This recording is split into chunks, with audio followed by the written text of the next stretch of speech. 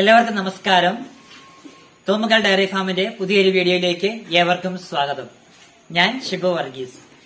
ഞാൻ ഇന്ന് ഇവിടെ നിങ്ങളുമായിട്ട് ചർച്ച ചെയ്യുവാൻ പോകുന്ന വീഡിയോ പശു വളർത്തൽ ഡയറി ഫാം ലാഭമോ നഷ്ടമോ?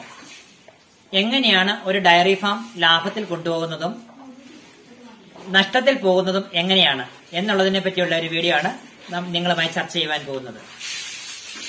നിങ്ങൾ ഞാൻ ഏകദേശം ഒരു നൂറ് വീഡിയോ അടുത്ത് വീഡിയോ ചെയ്തിട്ടുണ്ട്.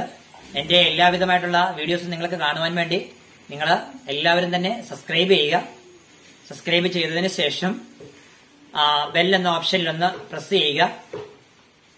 അതിനുശേഷം ഓൾ എന്നൊരു ഓപ്ഷനും കൂടെ ക്ലിക്ക് ചെയ്യുക. അപ്പോഴേക്കും നിങ്ങൾക്ക് എന്റെ എല്ലാവിധമായിട്ടുള്ള നോട്ടിഫിക്കേഷൻ കിട്ടുന്നതായിരിക്കും. അതുപോലെ തന്നെ നിങ്ങൾ മാക്സിമം ലൈക്ക് ചെയ്യുക ഷെയർ ചെയ്യുക കമന്റ് ചെയ്യുക. നിങ്ങൾ നല്ല നല്ല കമന്റുകൾ എന്നെ അറിയിക്കുക. നിങ്ങൾക്ക് ഏത് വീഡിയോ ആണ് ഞാൻ ചെയ്തു തരേണ്ടതെന്ന് നിങ്ങൾ ആ കമന്റുകളിൽ കൂടെ എന്നോട് ആവശ്യപ്പെടുക. ആ വീഡിയോസ് ഞാൻ നിങ്ങൾക്ക് ചെയ്യുന്നതായിരിക്കും. അതായത് ഞാനിവിടെ വലിയ ഹൈടെക് ഫാമിലെ ഉദ്ദേശിച്ചുള്ള വീഡിയോകളല്ല ചെയ്യുന്ന കേട്ടോ. ആദ്യം തന്നെ പറഞ്ഞേക്കാം. സാധാരണ ഒരു പശു വളർത്തുന്നവർ മുതൽ ഏകദേശം ഒരു അൻപത് പശു വരെ വളർത്തുന്ന ആളുകൾക്ക് വേണ്ടിയുള്ള വീഡിയോ ആണ് ഞാനിപ്പോൾ ഇവിടെ നിങ്ങളോട് ചർച്ച ചെയ്യാൻ ആഗ്രഹിക്കുന്നത്. സാധാരണഗതിയിൽ ഞാൻ ഇന്നിപ്പോ കണ്ടുകൊണ്ടേയിരിക്കുന്ന ഒരു ട്രെൻഡ് ഏകദേശം ഈ വീഡിയോ ചെയ്യാൻ തുടങ്ങിയതിന് ശേഷം അതിനു മുമ്പ് നമുക്കറിയാം ആളുകൾ എല്ലാവരുടെയും ധാരണ ഇത് ഈ ഒരു ഫാം തുടങ്ങുക എന്ന് പറഞ്ഞു കഴിഞ്ഞാൽ ഏതാണ്ട് വലിയ ലാഭമുണ്ടാകുന്ന ഒരു പരിപാടിയാണ് എന്നാണ്. എന്നാൽ ഇത് അറിവില്ലാത്തവരുടെ ധാരണ ഇത് ഏതാണ്ട് ഭയങ്കര നഷ്ടങ്ങൾ സംഭവിക്കുന്ന ഒരു ഫീൽഡാണെന്നുമാണ്. എന്നാൽ ഈ രണ്ട് കാര്യവും ഈ ഫീൽഡിൽ ഒന്നുപോലെ കാണും. ഇതിന് രണ്ടിനും ഓരോ വശമുണ്ട്. ഈ കൈക്ക് ഈ വശവുമുണ്ട് ഈ വശവുമുണ്ട് എന്ന് പറഞ്ഞതുപോലെ ഇതിന് രണ്ടും രണ്ട് വശമുണ്ട് നമ്മൾ അതിനകത്ത് ഒന്നാമതായിട്ട് നമ്മൾ ചെയ്യേണ്ടത് നിങ്ങൾ ആരെങ്കിലും ഒരു പശു വളർത്താൻ ആഗ്രഹിക്കുന്നവർ മുതൽ മേളിലേക്ക് നമ്മൾ ചാടി കയറി ഒരു പശുവിനെ ആരെങ്കിലും അയൽപക്കത്തോ നാട്ടിലോ വളർത്തുന്നത് കണ്ട് നമ്മളൊരു പശു വളർത്താൻ പോകരുത്. നമ്മളൊരു പശു വളർത്തുന്നതിന് മുമ്പായിട്ട് നമുക്കറിയാം ഇഷ്ടം പോലെ ക്ലാസ്സുകളൊക്കെ മറ്റും അറ്റൻഡ് ചെയ്യാനുണ്ട്. ഓൺലൈൻ വഴിയാണെങ്കിലും ക്ഷീരവ്യസനവകുപ്പ് അങ്ങനെയൊക്കെ വേണ്ടി ക്ലാസ്സുകൾ കൊടുക്കുന്നുണ്ട്. ക്ലാസ്സുകൾ അറ്റൻഡ് ചെയ്യുക. നല്ല നല്ല അറിവുള്ള ആളുകളുമായിട്ട് നമ്മൾ ചോദിച്ച് നമ്മൾ കാര്യങ്ങളൊന്ന് മനസ്സിലാക്കുക. നമുക്കറിയാം നമ്മുടെ അയൽവക്കത്തെ ആരോടെങ്കിലും ചോദിച്ചു കഴിഞ്ഞാൽ പറയും പശു വളർത്തം അത്ര നഷ്ടമുള്ള ഫീൽഡ് ഒന്നുമില്ല. ഈ പരിപാടിക്ക് നിങ്ങൾ പോകണ്ട നിങ്ങൾക്ക് വേറെ പണിയൊന്നുമില്ല എന്ന് ചോദിക്കും. എന്നിട്ട് അവരെന്നും പത്തും പന്ത്രണ്ട് പശുക്കളെ വളർത്തുകയും ചെയ്യും അല്ലെ? ഒരു മുന്നൂറ്റമ്പത് ദിവസം പശു വളർത്തി ജീവിക്കുകയും ചെയ്യും. അതാണ് നമ്മൾ കാണുന്ന നമ്മുടെ നാട്ടിൽ കാണുന്ന പ്രത്യേകത. അതങ്ങ് വിട്. നമ്മൾ ചെയ്യേണ്ടി എന്താണെന്ന് ചോദിച്ചു കഴിഞ്ഞാൽ ഒരു പശുവിനെ വളർത്തുന്നു എങ്കിൽ ആഗ്രഹിക്കുന്നു എങ്കിൽ പോലും ആദ്യമായി നമ്മൾ അറിഞ്ഞിരിക്കേണ്ട ചില കാര്യങ്ങൾ ഞാൻ പറഞ്ഞുതരാം. ഒന്നാമത്തെ കാര്യം ഈ പശുവിനെ ഏത് രീതിയിൽ പരിപാലിക്കണം എന്ന് നിങ്ങൾ മനസ്സിലാക്കുക. ഈ പശുവിനെ ഏത് രീതിയിലാണ് പരിപാലിക്കേണ്ടത് എന്ന് നിങ്ങൾ കണ്ടു മനസ്സിലാക്കുക. ആരുടെയെങ്കിലും അടുത്ത് പോയി നിങ്ങളുടെ കാര്യങ്ങൾ പഠിക്കുക. ഏതൊക്കെ സമയത്ത് പശുവിന് കാലിത്തീറ്റ കൊടുക്കണം? ഏതൊക്കെ സമയത്ത് പശുവിന് തിന്നുവാനുള്ള കരയാഹാരം പുല്ല് കൊടുക്കണം? ഇത് നമ്മൾ ആദ്യം പഠിക്കുക. രണ്ടാമത്തെ കാര്യം ഒരു പശുവിന് ഒരു അസുഖം വന്നാൽ എന്ത് ചെയ്യാൻ പറ്റും? പ്രത്യേകിച്ച് നമുക്കറിയാം ഏറ്റവും കൂടുതലായിട്ട് നമ്മൾ അനുഭവിച്ചുകൊണ്ടിരിക്കുന്ന ഏറ്റവും വലിയൊരു ബുദ്ധിമുട്ടാണ് അകിടുവീക്കം എന്നൊരു പ്രശ്നം.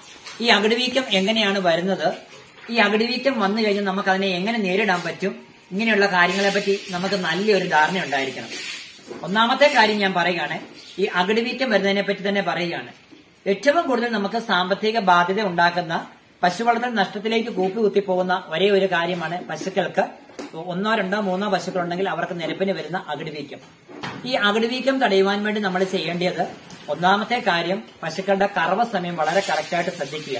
രാവിലെയും വൈകിട്ടും ഒരേ സമയത്ത് തന്നെ നമ്മൾ കറക്കാൻ ശ്രദ്ധിക്കുക. ഒരേ സമയത്ത് തന്നെ അവരുടെ കാലിത്തീറ്റ കൊടുക്കുക. ഒരേ സമയത്ത് തന്നെ അവരുടെ പുല്ലും മറ്റു തീറ്റക്രമങ്ങളും നടത്തുക. രണ്ടാമത്തെ കാര്യം കൃത്യമായിട്ട് പശുക്കളെ കൃത്യസമയത്ത് തന്നെ കറക്കുക. കറക്കുമ്പോഴേക്കും യാതൊരു തരത്തിലും പശുക്കളുടെ അടിയിൽ കിടക്കുന്ന പാൽ അവസാനം വരുന്ന പാൽ അവിടെ ഇട്ടിട്ട് നമ്മൾ എഴുന്നേറ്റ് പോകാതിരിക്കുക. ചില പശുക്കളെ കറക്കുന്ന ശാലം ബുദ്ധിമുട്ടുണ്ടായിരിക്കും. എങ്കിലും നമ്മൾ മാക്സിമം മുഴുവൻ പാലും കറന്നെടുത്തതിന് ശേഷം അല്ലെ കുട്ടിയെ വിടാനുണ്ടെങ്കിൽ കുട്ടിയെ വിട്ട് പാൽ നല്ലതുപോലെ കുടിപ്പിച്ച് വൃത്തിയാക്കിയതിന് ശേഷം എഴുന്നേറ്റ് പോവുക. ഈ ഇതിനകത്ത് വലിയൊരു അപാകത കാണുന്നുണ്ട്. നമ്മൾ സാധാരണഗതിയിൽ എനിക്കറിയാം പല ആളുകളും ചെയ്യുന്നത് ചിലപ്പോൾ രണ്ട് മൂന്നാൽ പശുക്കളൊക്കെ കാണും. ഇവർ രാവിലെ ഈ പശുവിനെ കുളിപ്പിക്കുക വൃത്തിയാക്കുകയൊന്നുമില്ല അവിടെ പോയിരുന്ന പശുവിനെ കറക്കും. ഒരു പശുവിനെ കറന്നിട്ട് അടുത്ത പശുവിനെ കറക്കാനുള്ള വേഗതയിൽ ഓടിപ്പോവാണ്. ആ സമയത്ത് ഈ പശുക്കളെ കറക്കുന്ന പാൽ ആ കൂട്ടിൽ വീണ് കിടക്കാൻ സാധ്യതയുണ്ട്. അത് അവിടെ കിടക്കും ആ ചാണകത്തിന് തളിഞ്ഞ് ഈ പശുക്കൾ അതിലേക്ക് കിടക്കുകയും ചെയ്യും. ഇൻഫെക്ഷൻ കയറാനുള്ള സാധ്യത വളരെ കൂടുതലാണ്.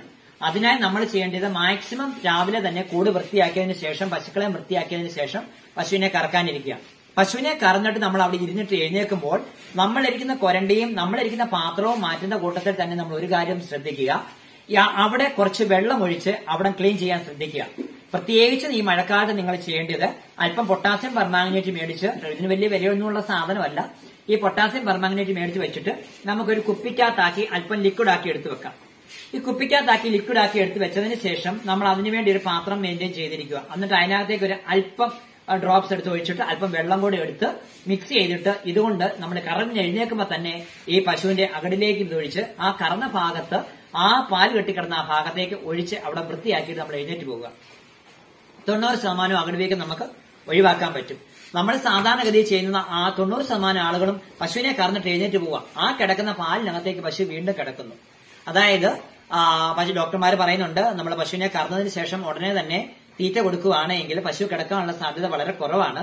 അപ്പോഴത്തേക്കും അവരുടെ അകട്ടിലേക്കുള്ള ഇൻഫെക്ഷൻ കയറുന്നതിന്റെ ആ മുലക്കാമ്പ് തുറന്നിരിക്കുന്നതിന്റെ ഒരു ടൈമാണ് ആ സമയത്ത് കിടക്കാതിരിക്കുവാണെങ്കിൽ പശുക്കൾക്ക് ഇൻഫെക്ഷൻ ഉണ്ടാകത്തില്ല എന്നൊക്കെ. അതൊക്കെ വളരെ നല്ല കാര്യമാണ് കറക്റ്റ് കാര്യമാണ്. നമ്മളെ കൊണ്ട് അങ്ങനെ സാധിക്കുന്നില്ല എങ്കിൽ നമ്മൾ ചെയ്യേണ്ട ഒരു ഒന്നാമത്തെ കാര്യമാണ് നമ്മൾ അല്പം പൊട്ടാസ്യം പെർമാഗ്നേറ്റ് റെഡിയാക്കി എടുത്തിട്ട് നമ്മൾ ആ കൂട്ടിലേക്ക് അല്ലെ ഫാമിലേക്ക് ഒഴിച്ച് അവിടെ ഒന്ന് വൃത്തിയാക്കിയിട്ട് എഴുന്നേറ്റ് പോവുക. എന്നിട്ട് നമ്മൾ അടുത്ത പശുവിനെ കറക്കാൻ പോവുക.